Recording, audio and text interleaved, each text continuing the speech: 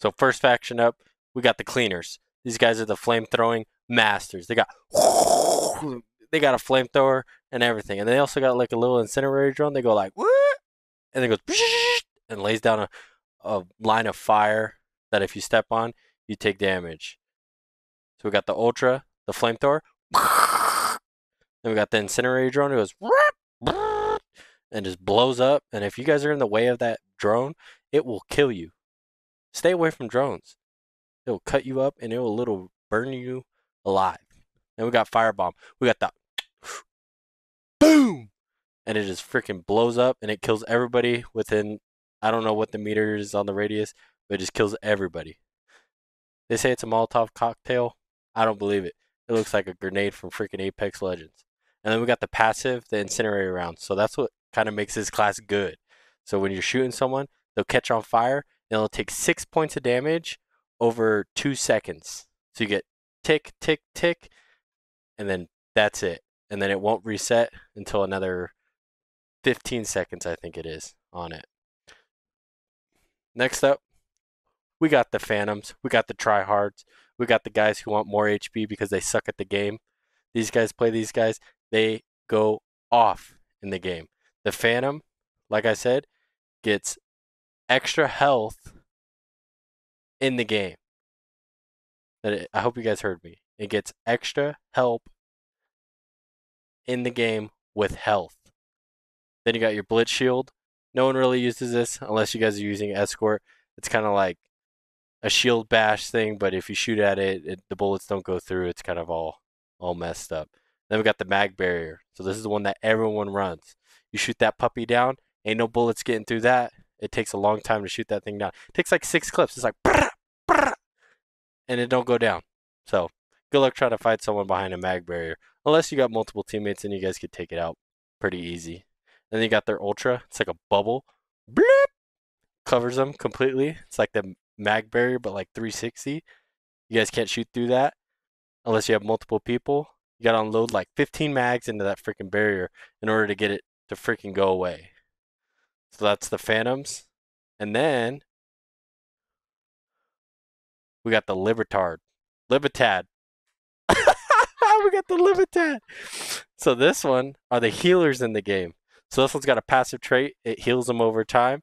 And then they got the El Remedio. I think that's how you say it. El Remedio. You throw a gas canister and basically it heals your teammates within a radius. It's not not too good. And then you got the BioVita booster. This one, it's like a little can. You open it up like Coca-Cola. You know what I mean? Ching! And it heals everyone around within a radius. Honestly, I think they're like kind of the two same things as far as concept goes on that. And then you got your his the ultimate. It's where you go, you go like this, go, yeah. You throw down an ultimate. It buffs everyone's HP in the area for like within a 15 meter radius to like 200 HP. You ain't killing no one in that circle. I'll tell you that much. I can't tell you how many times they throw it down, and I'm shooting at them, unload like two mags in them, and they still ain't dying. Their health recovery is like, like that. You shoot them while you're reloading, boom, they're already back up to 200 HP. So this one's kind of broken. And then we got the echelon. We got the hackers of the game. Okay, they got a low low profile passive trait. They don't appear on the minimap at all, regardless of whatever they're doing. They could be shooting up in the air. No one's going to see it on the minimap. Then we got the intel suit. This one is the wall hacks. This one, you can see people through walls within a certain radius. Makes it super, super broken. Then you got the digital ghillie suit. This guy makes them invisible. Completely invisible. It's absolutely insane. Why why would you make someone invisible in the game?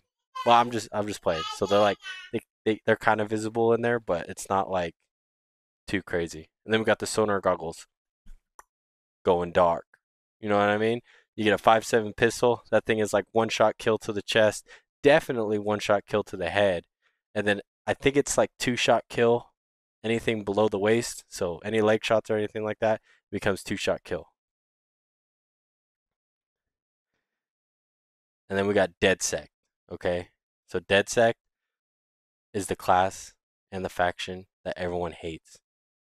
I hope you like spider bots. Yeah, that one. Okay, they throw down a spider, it goes, and then it gets on your face. And the only way to get it is if you look down and you shoot at the ground. That's the only way that you're gonna be able to get this thing off of you. It's so annoying. It's irritating. And then sometimes it like runs up to you and then it just like shocks you like R2-D2. And then you're screwed. And then it's like you're trying to look around like, oh my god, I can't shoot anyone. It's it's ridiculous. And then you got hijack on DedSec. And this one basically hijacks like the wall barrier. It's like you can press that ability and it'll hijack that wall barrier so now it's yours. What's cool about this one though is that it does have a passive trait, which I think is pretty cool for all you guys who like throwing freaking grenades all the time. So whenever you throw a grenade, it passively recharges that grenade. So you guys can have infinite amount of grenades no matter what. You could chuck it and then it's like 15 seconds later you got another grenade. Then you could chuck that one and then it's the same thing. And then you got their ultra lockout completely takes away all the abilities and ultras that everyone else is using in the match. So you can't do nada except throw grenades. That's it. You can't use any abilities or anything like that whenever they hit their ultra on this one. So now that we got through all that mumbo jumbo, I'm going to talk about what my top three factions are in this game. So in third, we're going to go with cleaners. Now cleaners, like I said, they're going to clear out the point. They're going to throw that little boom, that little grenade, clear it out on occupy and domination, whatever the heck you're playing. And then in second, we got echelon. Echelon because of the wall hacks. You guys can see people around corners, see people running up on you. You guys can secure the site, things like that. And you got that little one-shot pistol. Get them. And then number one, we got Phantoms. Now, Phantoms is number one. I don't want no hate, but Phantoms are number one because of the HP boost. It gives you that ability to go, run, slide around a corner, even though they shoot you like four times. Guess what? You're still at 100 HP, then you just lay them out. Boom, boom, boom, boom, boom. Lay them out, and they're done. The HP boost is completely broken on it. The mag barrier is completely broken. That's my number one faction in XDefiant right now, and everyone's playing it. It's really good, and it's really fun to play. So that pretty much sums up all the factions in XDefiant. Thank you guys so much for watching. I appreciate you guys. And also, don't forget to hit that like and subscribe button. I got more content coming soon on this game. All right. Don't forget it. But again, thank you guys so much. I'll see you guys on the next video. Later.